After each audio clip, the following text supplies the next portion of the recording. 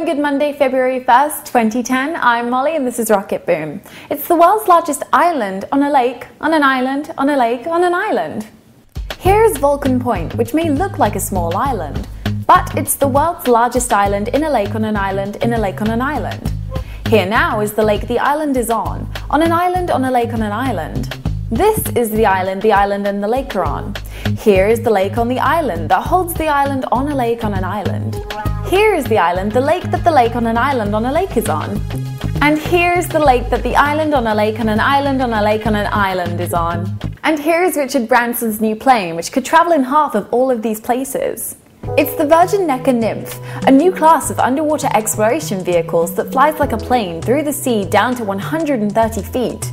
Meant for Branson's guests to peruse the Caribbean marine around his private island in the sea, he hopes the technology will soon make it possible to travel to depths of over 35,000 feet. It's an umbrella without a canopy. Thanks to my sister for sending in news of the air umbrella, which is like using a magical wand to stay dry. A fan inside of the stick pushes air out of the top to create a rain blocking force field, winning out over more traditional methods. From NASA, Space Shuttle Endeavour is prepared for its final year of operation, with a liftoff scheduled for February 7th. The 13 day flight from Cape Canaveral to the space station and back will include delivery of the Tranquility node to help provide more living area. For deorbit mode when falling out of the sky and crashing into the ocean. From JAXA, send your Valentine a love letter from space this February 14th via the Japanese Aerospace Exploration Agency's Wideband Internetworking Engineering Test and Demonstration Satellite Cloud. She'll love you for it. Perhaps. Thanks to Brian Stillman for sending in news of a tool to deceive and slaughter.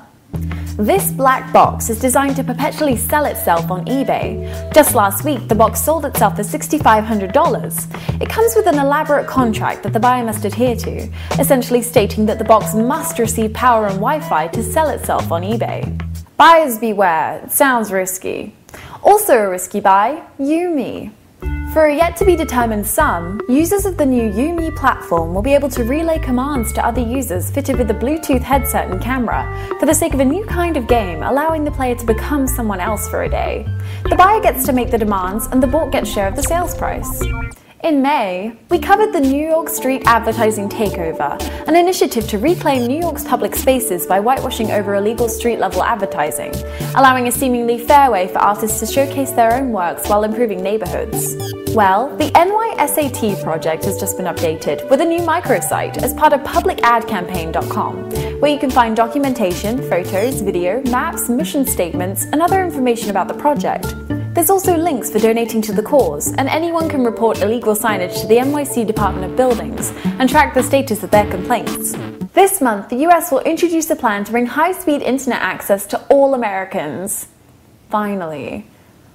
With countries like Finland and France recently declaring internet access a basic human right, and all the other industrialized nations having some form of national policy for internet access, the US is the latest to jump on board.